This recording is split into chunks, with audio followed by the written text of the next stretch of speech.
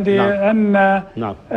من الحلقة قبل الماضية نعم نعم وقد نبهني إلى ذلك آه، لعل الشيخ محمد الرابطي جزاه الله خيرا نعم بارك الله فيك وفيك. بمكالمة هاتفية نعم آه، قال لي يعني سألتكم فتاة من بنغازي مهم. آه، عن مسألة أنه أتاها الحيض وهي صغيرة نعم وكانت لا تدرك معنى ذلك مهم. وقد صامت آه، حياء. نعم. صامت جزء من رمضان وهي حائض. نعم. قال لي قلت لها يعني من باب السهو قال لي هو إيه، قلت لها لا, لا قضاء عليك. وأنا الذي أذكره آه، ما لا لا لم أذكر القضاء.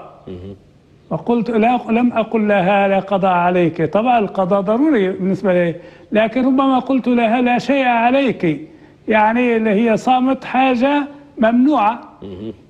تستغفر الله سبحانه وتعالى ولا شيء عليها في مثل هذه المسألة أما على كل حال في كل حال أنا أذكر- كنت أ- أ- هو أنا أذكر شيخ أنا ك- كما آه. قلت الآن أذكر ذلك لأن كنت معك في هذه الحلقة وذكرت بأنه لا أيوة، شيء عليها لكن أيوة. أنا أذكر أنك لم تذكر شيئا عن القضاء وأنت ذكرت بأن لا شيء عليه يعني لا, لا إثم عليه لا إثم عليه نعم نعم آه، مع ذلك ومع ذلك نحن يعني بهذه المناسبة نقول لها إن ذلك لا يعفيك من قضية القضاء. أها نعم. لأنها صامت في في نعم في وقت لا يجوز له لها فيه الصيام.